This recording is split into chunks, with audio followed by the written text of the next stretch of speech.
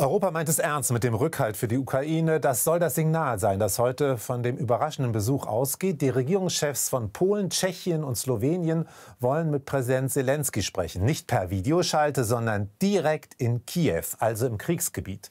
Das Vorgehen sei mit der Europäischen Union abgesprochen, sagen die Beteiligten. Eine gefährliche Reise in ein Land, in dem auch die Hauptstadt Kiew jeden Tag unter Beschuss steht. Dass aus diesem Haus in Kiew Menschen gerettet werden können, grenzt an ein Wunder. Doch nicht alle schaffen es aus dem 16-stöckigen Gebäude. Die Leute sterben. Doch das Schlimmste ist, dass Kinder sterben. Das ist das Schlimmste. Sie haben ihr Leben noch nicht gelebt und sie mussten das hier ansehen.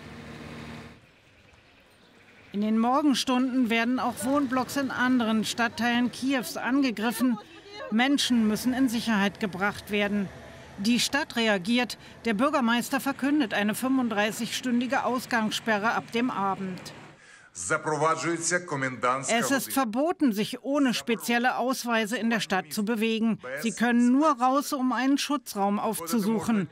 Die Ausgangssperre wird bis zum 17. März um 7 Uhr morgens gelten.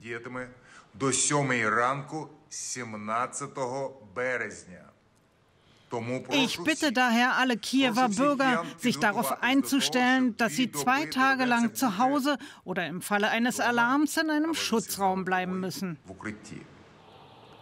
Trotz der russischen Angriffe vor allem auf die großen ukrainischen Städte setzen Moskau und Kiew die am Montag unterbrochene vierte Runde der Gespräche fort, ohne Öffentlichkeit. Und inmitten der Raketeneinschläge reisen drei EU-Regierungschefs mit dem Zug nach Kiew. Tschechiens Ministerpräsident schrieb auf Facebook, er wolle mit seinen Amtskollegen aus Polen und Slowenien der Ukraine die Unterstützung der Europäischen Union zusichern. Eh, die Delegation vertritt de facto die Europäische Union. Dieser Besuch ist seit Wochen geplant und wurde geheim gehalten. Eines der Anliegen der drei Regierungschefs, humanitäre Hilfe, die kommt schwer durch zu den umkämpften Städten. Doch einen Lichtblick gibt es am Dienstag. Rund 2000 Autos konnten bis zum Mittag die eingekesselte Hafenstadt Mariupol verlassen. Über die politische Lage können wir sprechen mit Miriam Kosmel von der Bertelsmann Stiftung. Sie ist Osteuropa-Expertin, publiziert regelmäßig über die Ukraine. Frau Kosmel, schauen wir zunächst auf die Reise der Regierungschefs aus Polen, Tschechien und Slowenien, die in Kiew präsent sein wollen. Als wie außergewöhnlich bewerten Sie das? Ich bewerte diese Reise als sehr außergewöhnlich, einfach aufgrund dieser brandgefährlichen Situation, die Sie ja gerade in Ihrer Reportage, in Ihrem Bericht auch dargelegt haben, zuletzt heute Morgen Lufteinschläge mit Getöteten. Insofern ist das gleichwohl eine aus meiner Sicht wichtige und richtige Solidaritätsbekundung, auch angesichts der Vorgeschichte, dass sich ja viel oder fast das gesamte internationale Personal angesichts der sich anbahnenden, zugespitzt habenden Situation zurückgezogen hat und damit eben auch die eigene Hilflosigkeit offenbart hat. Also dass jetzt in dieser Situation die Ministerpräsidenten tatsächlich fahren, ist eine, eine aus meiner Sicht besondere Solidaritätsbekundung. Ist es vielleicht zu viel guter Wille und zu großes Risiko? Man stellt sich nur mal ganz kurz, theoretisch zumindest vor, denen passiert da was. Wie soll sich die EU dann verhalten?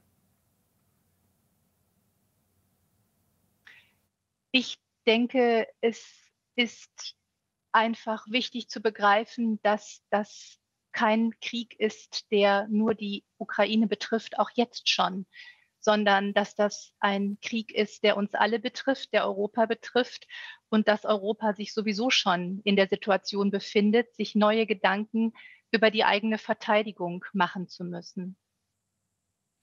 Sie haben ja in den vergangenen Jahren unter verschiedenen Aspekten gerade auf die Ukraine geguckt, Unternehmertum, politische Reformen.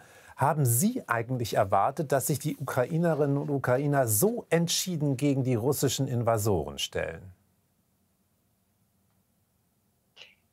Ich äh, habe daran gezweifelt, dass es äh, Russland in der Ukraine mit seinen Plänen leicht haben würde. Und äh, ich äh, war mir sicher, dass sich die Ukraine nicht so leicht äh, in einen Vasallenstaat verwandeln würde, also vergleichsweise leicht, wie äh, es mit Russland und Belarus gelaufen ist. Dass sich jetzt tatsächlich so viele so schnell entscheiden würden, zu den Waffen zu greifen, auch mit ihre Stadt, ihre jeweilige Stadt zu verteidigen, zu bleiben.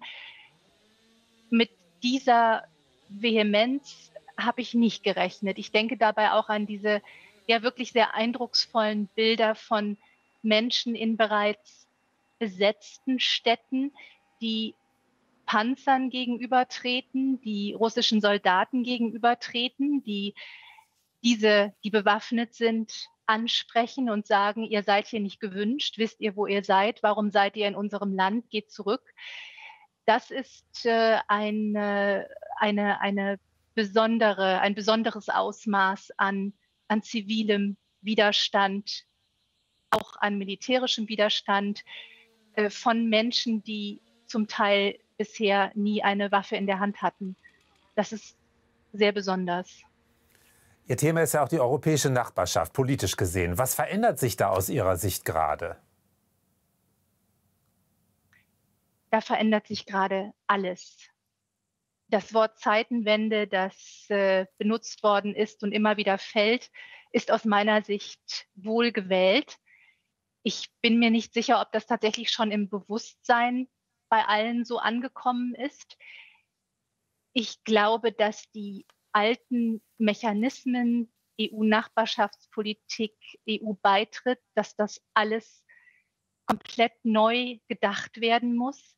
Ich habe eben schon angedeutet, es geht hier nicht nur um diesen Krieg gegen die Ukraine. Die Ukraine trägt nur die Hauptlast, aber wir alle sind herausgefordert, tatsächlich jetzt auch Europa, das System der liberalen Demokratie, in dem wir ja weiterleben möchten, zu verteidigen. Denn das, was wir da jetzt in der Ukraine sehen, ist ja auch ein, ein, ein Herrschaftsmuster, nämlich mit Terror zu operieren und auf diese Art und Weise Gesellschaften zu kontrollieren. Das ist ja etwas, wogegen sich die Ukrainer jetzt eben auch wehren. Und es ist aber nicht auf die Ukraine beschränkt, sondern es ist etwas, das uns eigentlich seit den Tschetschenienkriegen klar ist, dass es das gibt, dass es sich verbreitet. Und äh, da müssen wir jetzt komplett neu denken, wie wir uns aufstellen. Sagt Miriam Kosmil von der Bertelsmann Stiftung. Herzlichen Dank, dass Sie mit uns Ihre Gedanken geteilt haben. Bitte schön.